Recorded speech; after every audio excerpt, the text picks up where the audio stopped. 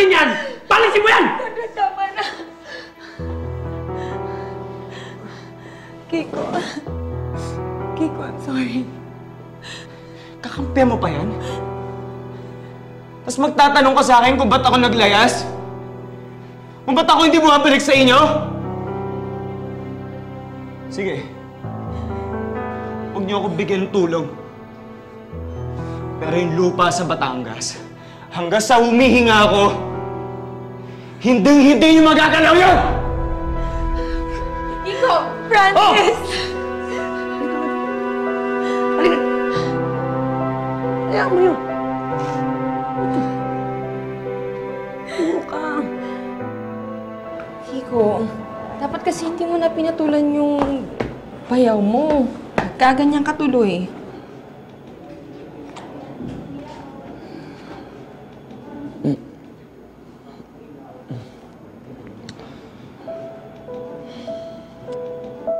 Pa ako pikon sa gagong yan eh. Hindi ko alam kung ano gusto sa kanya ni ate. Eh, mukhang pera yun. Sipin mo, family business namin, inangkin niya.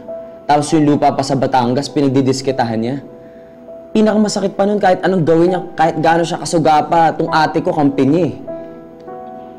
Siyempre kakampi niya talaga yun. Asawa niya yun eh. Eh ako, kapatid ako ah. Para kasing pinararamdam niya sa akin na wala siyang pakialam sa akin. Isa na lang kaya yung pamilya ko. Kiko. Salamat ah. Alam kong hindi ganun kadali na lumapit sa ate mo, pero ginawa mo pa rin para sa tatay ko. Sayang nga eh. Wala tayo na pala.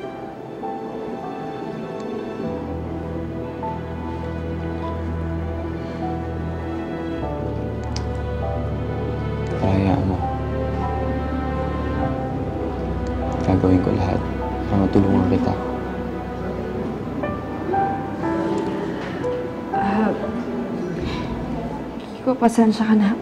Hindi pa ako handa eh. Ayos lang. Naghihintay ako. Alam mo naman kung bakit, di ba?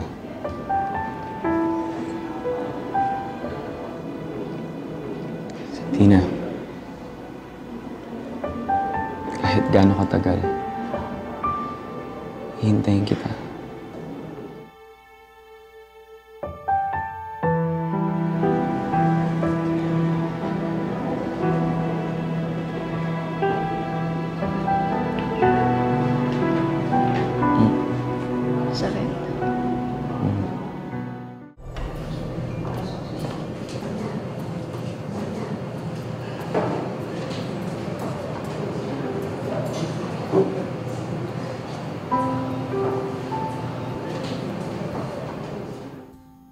Walang kaming magkapatid ni Francis. Bata pa lang kami. Malambing na talaga yan, tsaka makulit. Kaya siya yung favorite ni Papa. Kaso lang, nung namatay sa car accident yung parents namin, wala nang nag-guide sa kanya. Kaya ayan, napabarkada. Wala kaibigan po talaga kasi si Kiko. Mabait kasi. Pinayaan ko na si Conrad yung humawak ng family business namin. Wala naman kasi akong alam sa pagdidistribute ng mga goods para sa mga restaurants. Hindi nagustuhan ni Francis yung desisyon ko.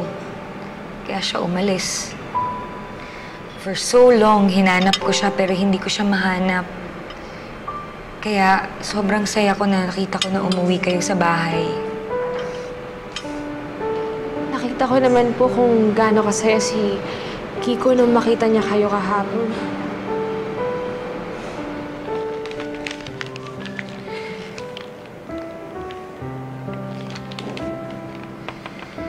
Alam kong magagalit sa akin si Conrad kapag nalaman niya na pinagbigyan ko yung kapatid ko. Pero, hindi ko kayang tiisin yung kapatid ko. Hayaan niyo, nakakarating po to sa kanya. Please hug him for me and sabihin mo sa kanya na namimiss ko na siya. Alam kong mabait si Francis at hindi niya kayang tiisin yung mga taong mahal niya. You're very lucky to have him, Santina. Please take care of my brother. Huwag ho kayo mag-alala. Hindi ko ho pababayaan si Kiko.